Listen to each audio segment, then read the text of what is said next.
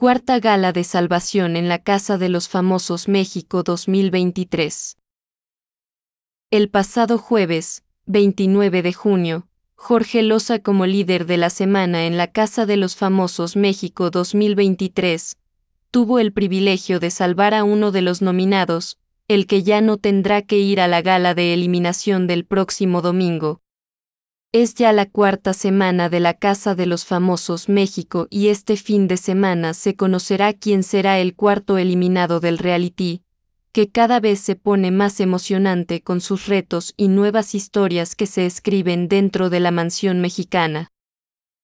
Jorge Loza, luego de la eliminación de Ferca Quirós, fue elegido por el público como el líder de la semana, esto le permite tener el poder para salvar a uno de los nominados, aunque los aficionados del programa de televisión aseguraban que éste salvaría a Paul Stanley.